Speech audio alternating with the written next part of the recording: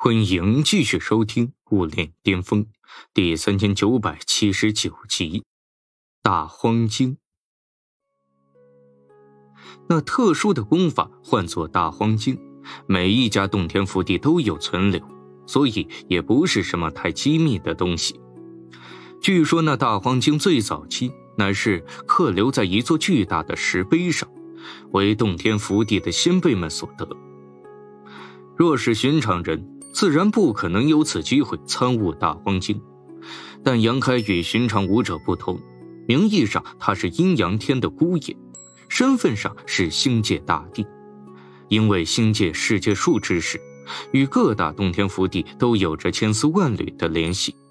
之前在解决狼牙墨图的事情上，更是出了大力。如今的杨开虽然只是个小小六品。但已经踏足并参与了这三千世界的许多机密，所以在李元旺看来，让他观摩大荒经也没什么。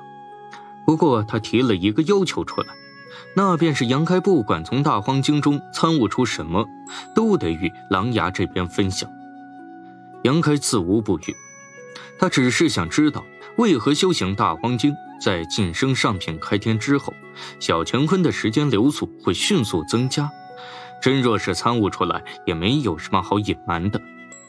大荒经的存放乃是禁地，周围有诸多禁制大阵覆盖。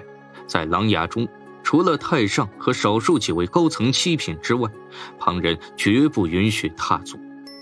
李元旺将杨开领至此地的时候，杨开一眼便看到了一座屹立在大地上的石碑。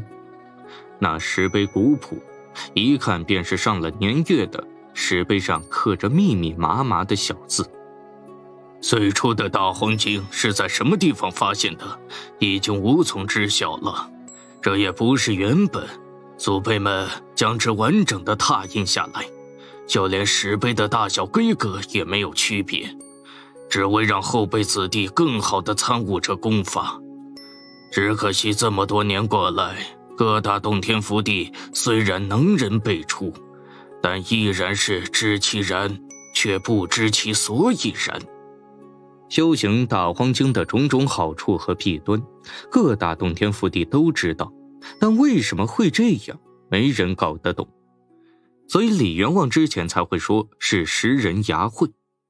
杨开点点头，目光移向下方，在那大荒经石碑不远处。有一排茅草屋格外显眼。不但如此，在石碑下更有几道身影静坐，皆都抬头望着石碑上的小字，定定出神。这几人中有青年者，有少年者，更有一个看起来只有十岁左右的孩子。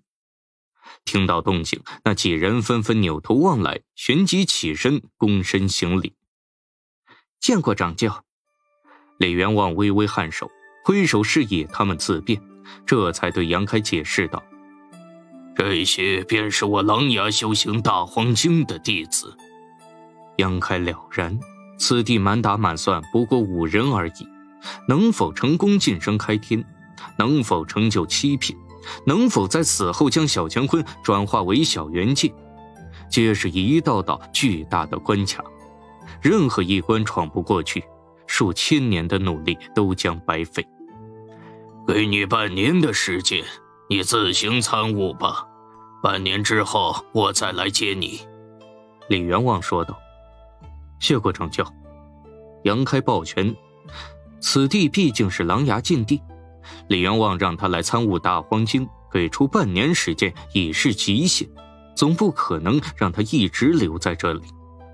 交代完杨开之后，李元旺便离去了。杨开迈步来到那石碑前方，抬头仰望，将石碑上的文字一一印入脑海。不得不说，这大荒经确实是一门极为玄妙的功法。虽然杨开没有尝试修行，但他如今的眼力非比寻常，功法优劣自然一目了然。李元旺说的没错，这功法只适合修行。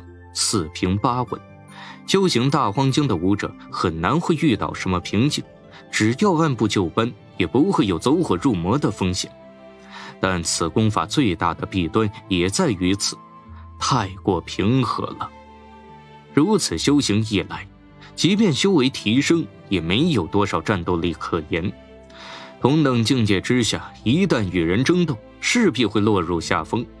这对追求武道巅峰的武者来说，是绝对无法接受的，难以保全自身性命，还谈何更高的境界？不过，出生洞天福地的武者却不用担心这些，他们常年累月在这里修行，根本不用参与外界的争斗，战斗力低一些也没有什么关系。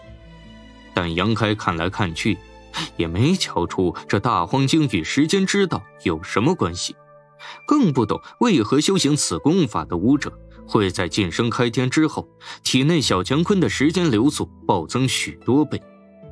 原先在此修行的五个狼牙弟子搞不懂杨开的来历，不过他们都是亲眼见到掌教李元旺将此人送来，在此之前可从未有人得如此殊荣。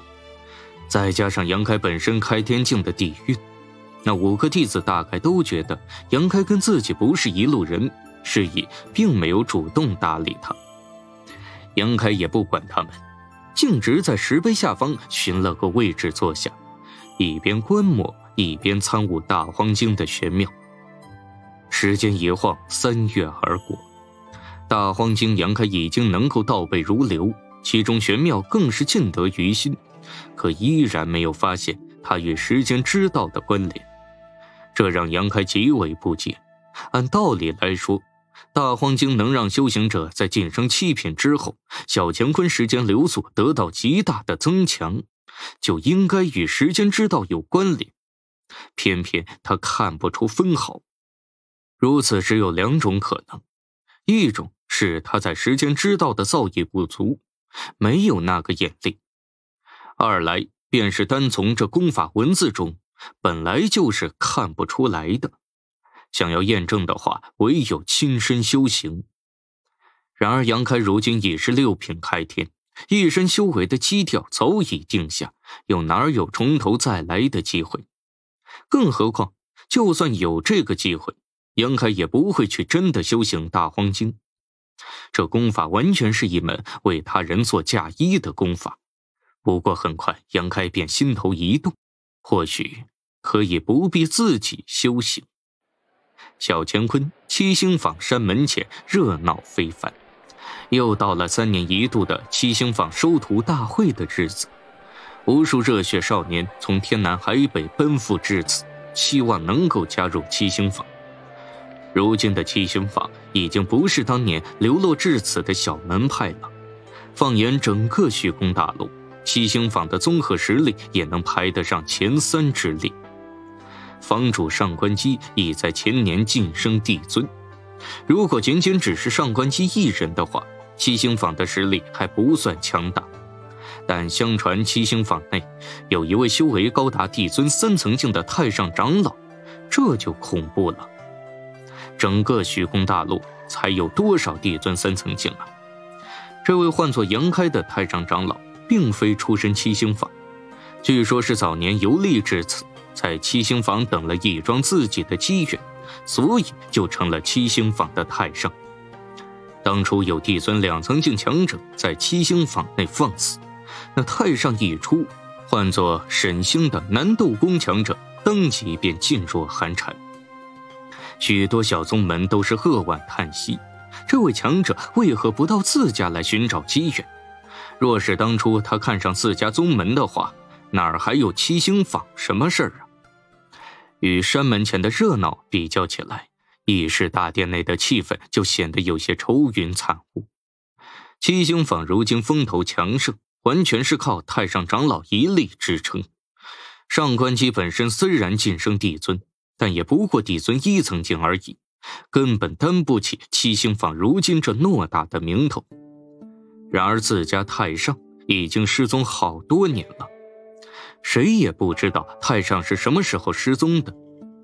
有一天，上官姬前去拜访的时候，太上所居的灵峰已经空无一人，连带着太上收的两个弟子也不见了踪影。上官姬可是吓了一大跳，本以为太上只是带着弟子出门游历，用不了多久便会回来，可等了这么些年，依然不见太上的踪影，甚至虚空大陆中也没有探听到半点有关于太上的线索。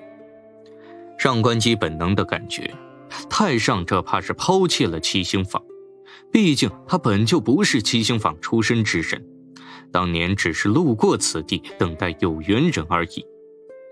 有缘人已经等到，他还留在七星坊干什么？上官基没有什么怨怼之心，七星坊能有如今的名气和地位，是太上一力支撑的。他只怨自己没本事。太上当年打下的江山，他竟然守护不住。消息虽然早已封锁，但这世上哪有不透风的墙啊？虚空大陆十大顶尖宗门中，如今有七八个目光盯着七星坊，要不然这一次收徒大会。又岂会有这么多帝尊境跑来观礼？说是观礼，其实是试探。这一劫若是过不了的话，灭门倒不至于，七星坊必定威名大损，到时候就会传为笑柄，以后再想收到好弟子就难了。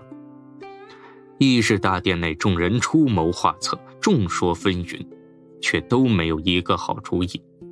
收徒大会召开在即。是骡子是马，也该拉出去溜一溜了。